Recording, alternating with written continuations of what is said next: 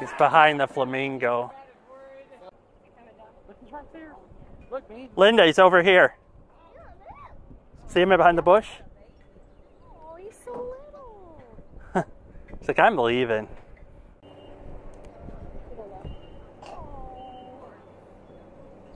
looks like he's lost.